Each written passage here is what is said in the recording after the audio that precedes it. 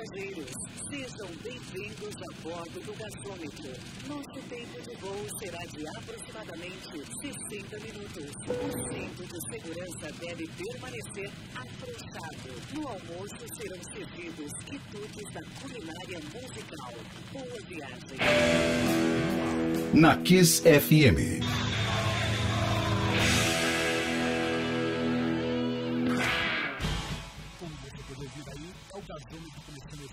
Nesse momento, mais uma vez, pontualmente em Mirim. Que maravilha, meu querido Marcão, graça, tudo bem? Tudo certo, Agatha? Totalidade, tá tudo bom aí, tá no bom, né? É, rapaz, tá vendo? Ficando britânico, eu queria estender aqui meu bom dia, então, a todos que já estão nos ouvindo, já estão nos acompanhando, justamente nesse banquete musical para paladares exigentes, exatamente, música sem prazo de validade.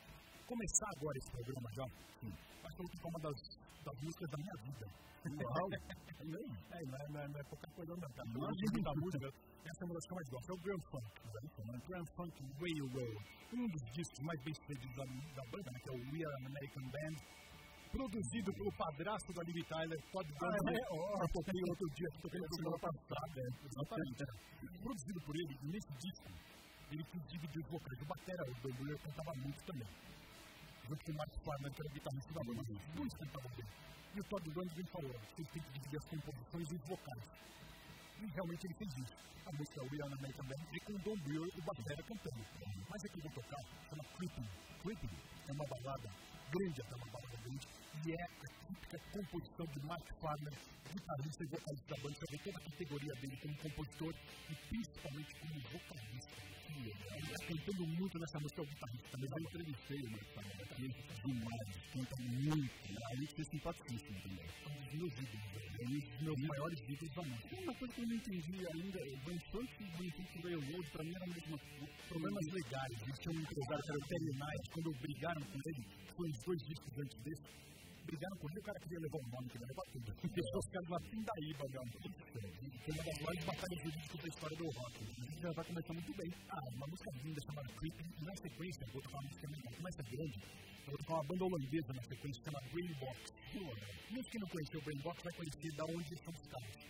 O guitarrista do Brain Box nessa banda holandesa era o Ian Que foi tocar no foco do assim. Então, ele e o Batera, que eu não lembro o nome, nome ele e o Batera foram pro foco depois. Então, esse Brainbox é uma banda pré-foco. Que legal. Finalzinho dos anos 60, eu acho muito bacana. O foco já veio aqui, acho que na revista, projeto Foco, uma versão ao vivo, demais. Isso foi um muito bacana. Bem que a gente vê talvez o maior expoente do rock inglês, imagina. Só lembrando da que a gente já está no portal também para você mais ver, acompanhar o pessoal no feira também no tfm.com.br, no Face sempre, né? E no Viber, também no aplicativo Viber, que é o 1021 Falado? Caladíssimo, mande sua sugestão, fale com a gente mesmo, que a gente lê tudo aqui. Para começar então, eu espero que você comece bem esse dia com essas duas músicas que eu vou tocar. O nosso banquete está apenas nas, pre... está apenas nas preliminares. começo do mês, começo da semana, vendo? Girl Funk, primeiro com Creeping, na sequência, a banda holandesa chamada Brain Box. Só aqui no gasômetro mesmo. Gasômetro. Kiss FM. Kiss FM.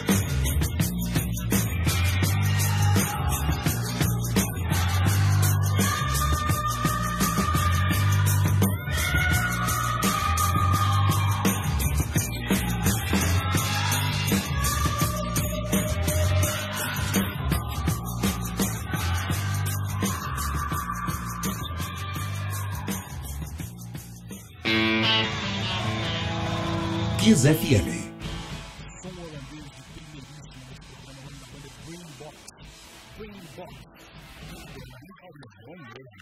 Conselho do gasômetro prova, eu fico feliz. Dois caras dessa banda, então, é um pré-fox. Eu gostar de muita gente que ouve aqui, gosta de fox, né? E conhece fox aqui, ó. Bastante bastante muito. E a para mim, é um dos maiores guitarristas da história do rock. Mesmo, é um monstro sagrado. Assim. E o bater eu vi aqui no momento, Pierre Van der Linden, quase 70. e antes foi o Grand Funk, né? Grand Funk do Ian American Band, o disco onde o tecladista foi cultivado como da banda. Então, teria nesse disco do Ian American Band, o Craig Frost, que era o tecladista, apareceu as fotos, vai ganhar dinheiro com nós, vai ter direito, vai ter direito, e quem já fez isso. Música que eu tenho do teclado é fundamental. Pegadinha boa, hein? Pra começar. Só pra começar. Agora a galera aqui no, também no Vibe aqui. Tem que assinar, né? O Jorge, o irmão da Julia Cima, eu conheci na sexta-feira e recebi um presente da irmã dele aqui na Então, pra você, Werner, também tem mais aqui. Meu senhor, o Bruno Carneiro, muita, é, é, muita coisa. E aí a gente vai ficar até amanhã. Alguém está ouvindo o Grand Funk, parou, parou para ouvir o programa, já com o Grand Funk. Exatamente. É. Tudo aí em sintonia, meus amigos. Essa sincronicidade, né? Tudo aí. Continuar com esse programa, vai. Duas bandas de Chicago, duas bandas de épocas diferentes, mas muito interessantes. Primeiro ser o Tip Trick. Tip Trick, para mim, é uma banda que fundamental aí do final dos anos 70, era um pouco pop, um pouco rock, eu amo também. Eu vou botar o disco, eles nunca pararam de lançar. Eles lançaram discos desde os anos 70, continuam lançando até hoje. Eu tenho um disco aqui, foi lançado em 1997, chamado Tip Trick, que é o primeiro álbum que eles lançaram em 77, 20 anos antes. E tem o mesmo nome porque eles consideram esse álbum um recomeço. Que legal, a carreira da banda. E essa tem na cabeça que você vai até mostrar, essa aí com o com o braço é uma das características do Rick Nielsen, que era o, o guitarrista da banda. Então eu vou ouvir um tip trick desse disco que realmente foi, foi uma ressurreição para a banda de 1997. Chama atenção para a voz do Robin Zander demais. Eu acho um dos melhores guitarristas do rock. Um cara ultra menosprezado pela crítica. Né? Ele poderia estar ali. Ah, sim. Você vai sentir que você não conhece o tip trick. O primeiro som que do trick foi um cover do Elvis, Don't Be Muito legal, muito. Canta pra caramba, né? Então nós vamos ver. Na sequência vai ter o Material Issue. Material Issue era uma banda que começou nos anos 80, durou de 86 a 96. Eu trouxe aqui um disco, vou tocar o hit dele, chama Kill the Waitress. É uma música linda, né? muito legal. E esse disco do Material Issue tem uma participação como convidado especial, Rick Nielsen, que era guitarrista do Tip Trick. Por isso que eu vou tocar Tip Trick e Material Issue. O pessoal do Material Issue certamente o Tip Trick, que convidado guitarrista para participar do maior clássico que a banda já lançou. Legal que o Gastão sempre linkando, isso que é bacana. Essa que é a dificuldade, né? Você gasta uma semana para fazer, vamos lá, música de 97, You Let a Lot of People, you let a lot of people down. Vamos lá, You Let a Lot of People Down. Música muito boa, preste atenção no do Ramiro Vander. Na sequência, Material Issue, uma música que foi anos 90, muito bacana, 1994. Vamos lá, vamos dar banda também. Gasômetro. Kiss FM.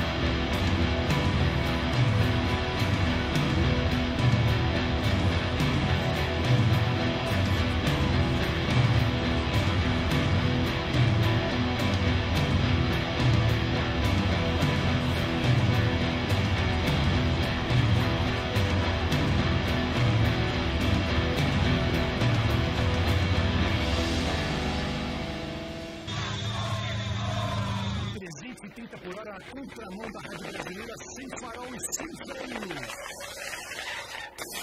Kiss FM.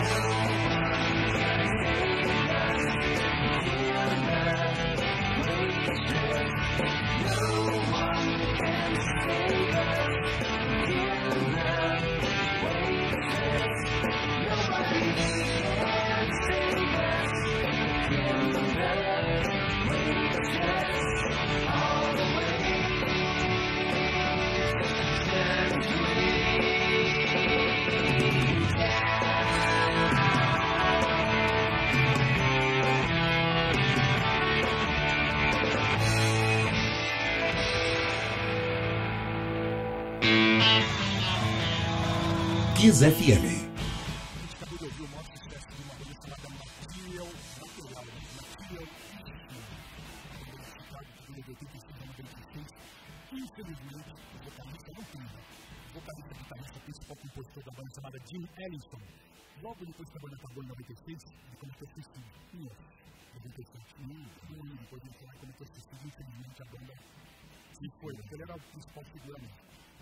Outra banda de Chicago que era o Chick Trick também.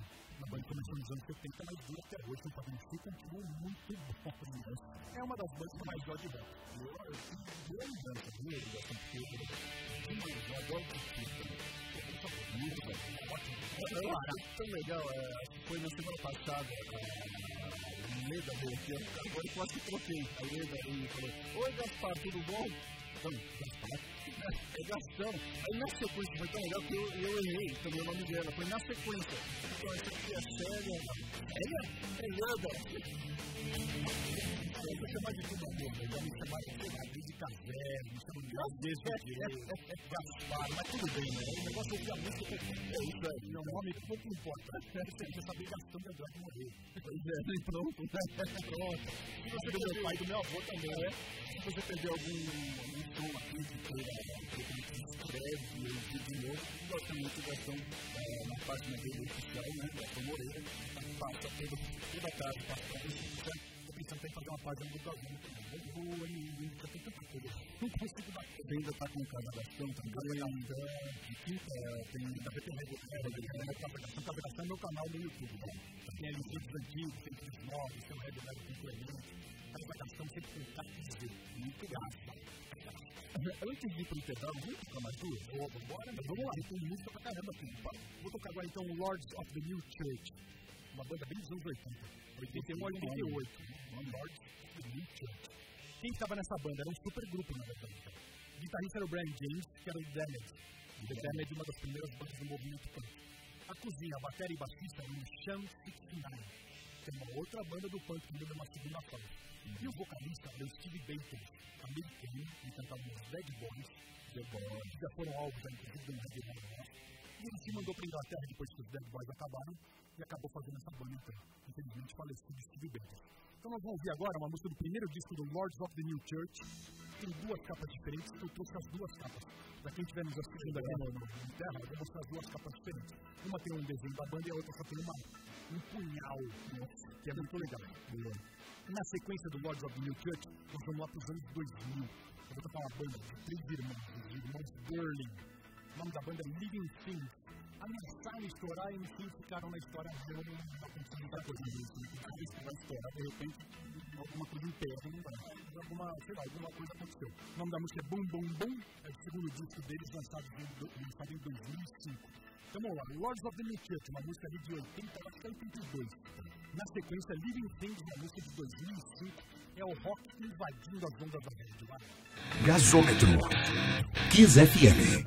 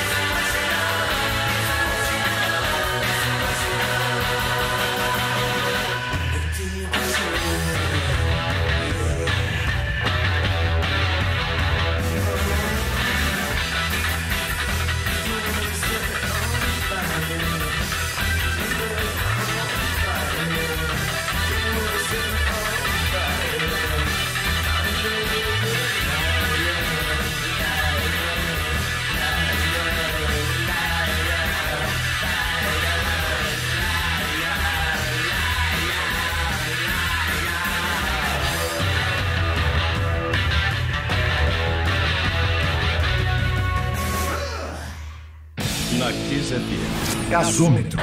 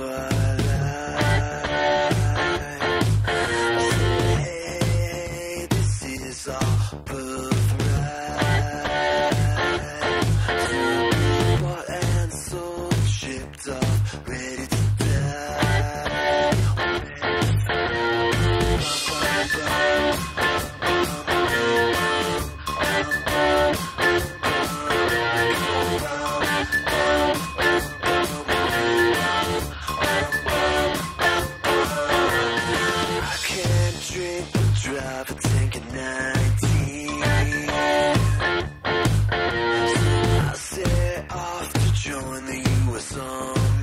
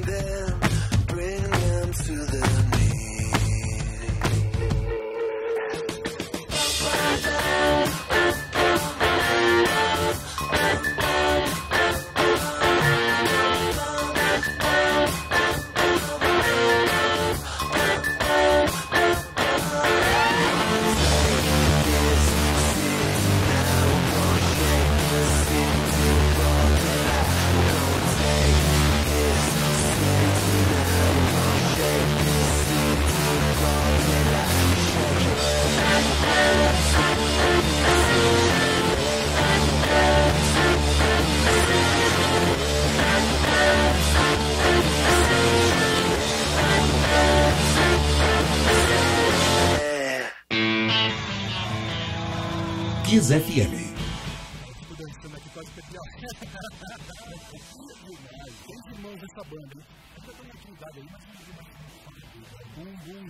um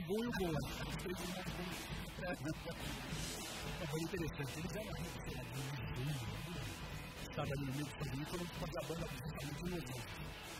Uma maioria, é, como disse, aí das coisas de então não tem em Los Angeles, uma cidade simplesmente que serve como ponto de encontro dos outros, de referência.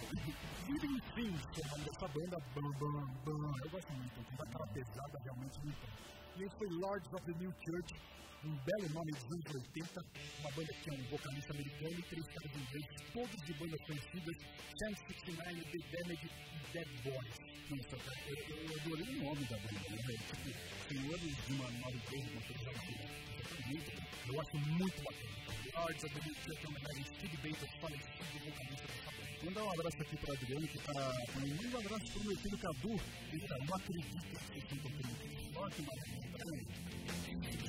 Ninguém nunca vai adivinhar que eu toco aqui. Parece que acertar uma música e um prêmio. Não, é incrível. Eu fico sabendo do, som que vai tocar alguns minutos antes de começar o programa. Só isso. Mas que legal, é cada surpresinha saudável. Aliás, tem mais muita coisa boa. Tem assim que vai tocar. Pouquinho. Agora, vamos lá. Pausa para o Dominicana, para o chá de gasolina, para você dar um relax no sofá, no seu trabalho não vai ser mandar embora. Fique esperto aí, não vai bater o carro, vai ficar bem esperto. Daqui a pouco nós voltamos com mais gasômetro, trazendo sempre o melhor do mundo.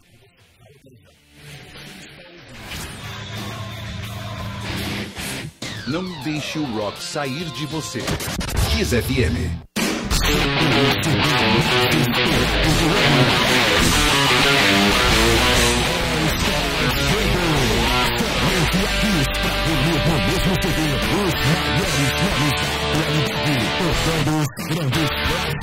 Rock and roll, rock and roll.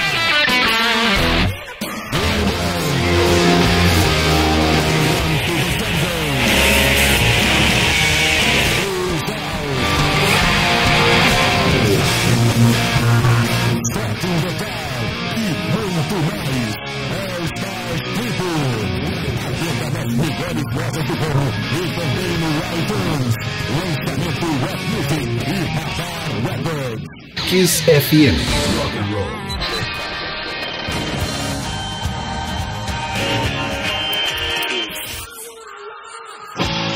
Tocando o seu rock preferido.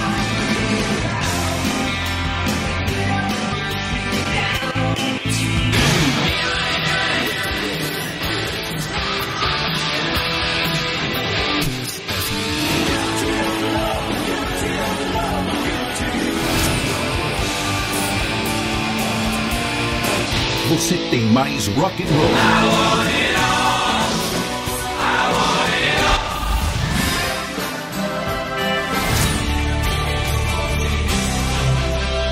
Kiss FM, feita por você.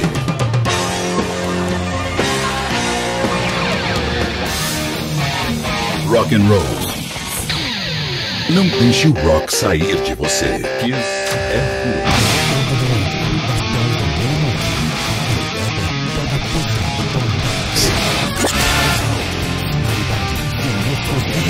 Sob o comando de Vitão Bonesso. Backstage. Rock and roll levado a.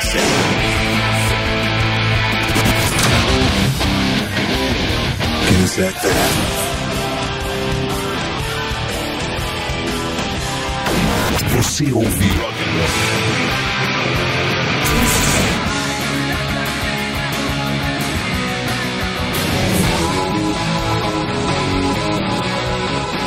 Não deixe o rock sair de você.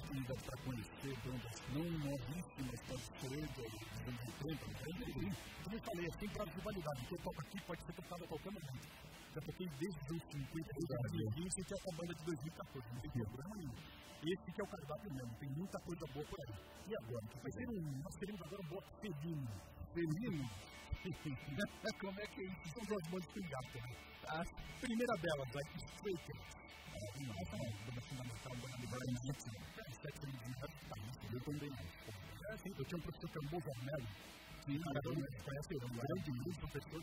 E meu professor na MT também, também é legal. Eu eu mostrei vários guitarristas pra ele, ele, ah, eu é fácil, é fácil. Eu mostrei o Brian Setzer ali, porque esse cara toca. Foi o primeiro guitarrista que eu mostrei pra ele nos anos 80, tô falando ali. Em 81, 82. Toca Bíblia, assim, a Bíblia. Eles são os responsáveis por aquele revival todo do rock dos anos 150, mas são os rockers. É, uma penteado, né, tudo, visual. Repete esculpido, questão de horas, os caras ficavam ali com gel esculpindo. Eu acho muito bom esse Frank eu vou tocar a primeira música do primeiro disco, Runaway Boys. Uma espécie de um ritmo, mas não é tão manjado assim também. E o que é engraçado, que é engraçado, que naquela época do, rockabilly, é, hoje em dia se mata, é, revólver, é faca, não sei o quê. Quando, você, quando alguém era, era zoado, era cortando o cabelo. Meu Deus, nossa, o topete era o, aquele símbolo, né? Aí, na sequência, eu vou tocar uma banda argentina. Foi a primeira, dizem para mim, jornais da história, era de. Dizem que foi a primeira banda na história a gravar um rock em espanhol.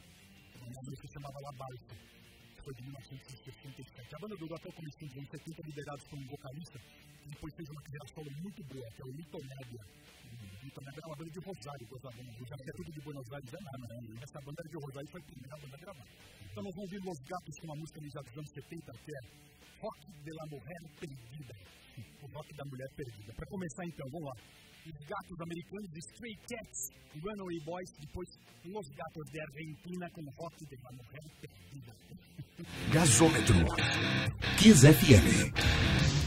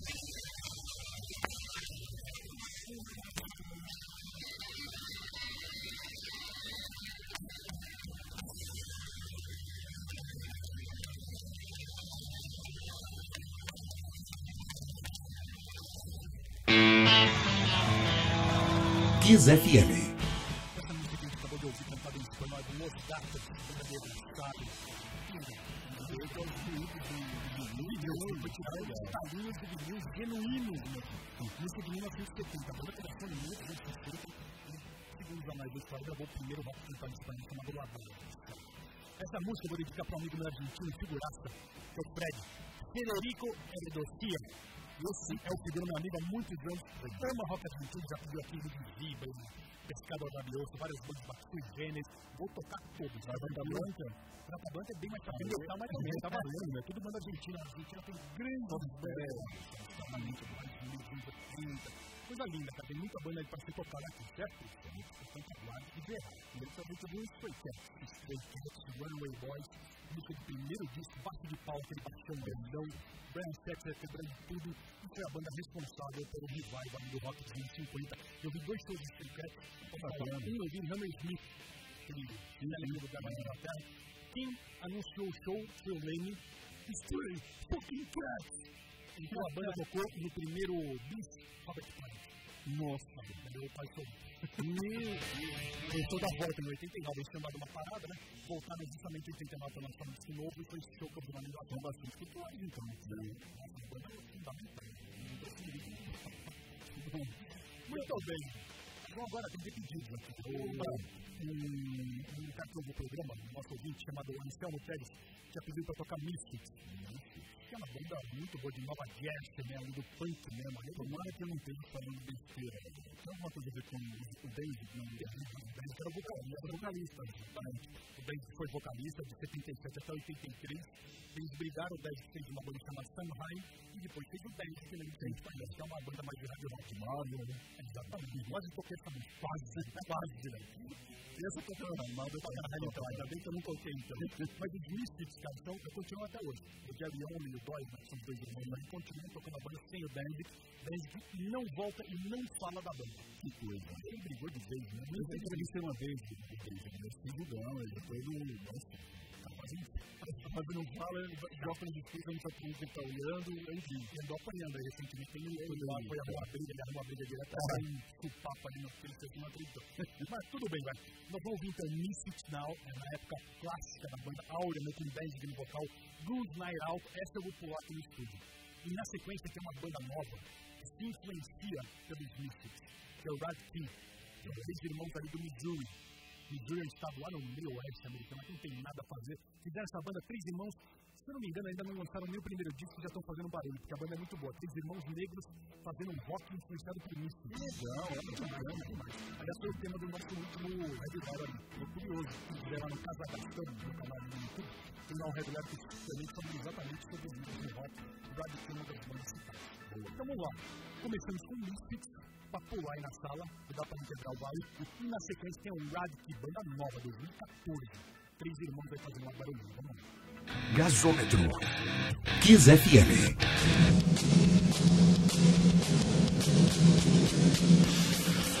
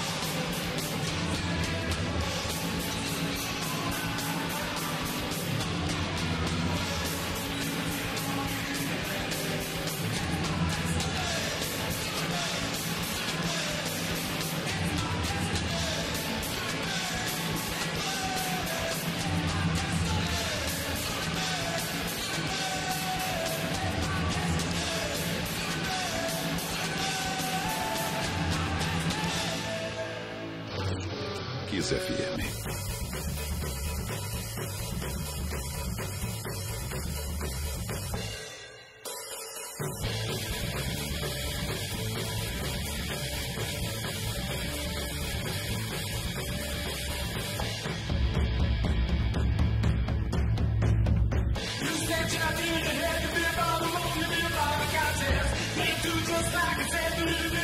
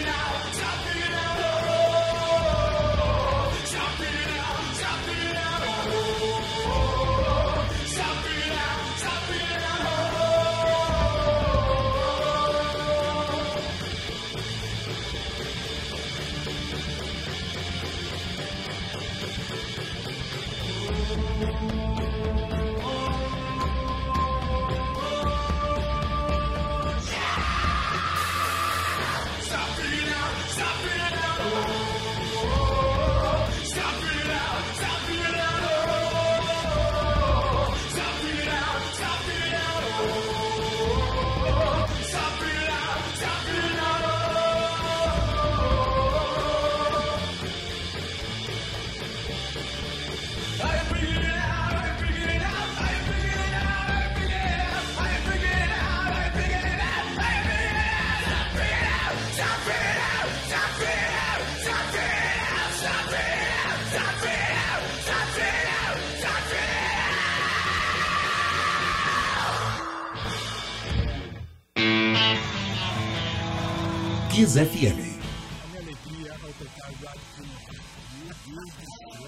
Tá final. Começa aí a perder a cabeça no bom sentido. Muito bom, cara.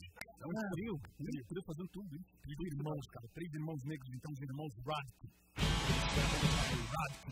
E um foi o Mystic, que é a influência maior do Radic. Uma música muito conhecida, da virada 80. Mystic Radic com quase as últimas bandas que sendo tocadas ainda tem um arremate, tem um cafezinho é... para encerrar essa refeição hoje.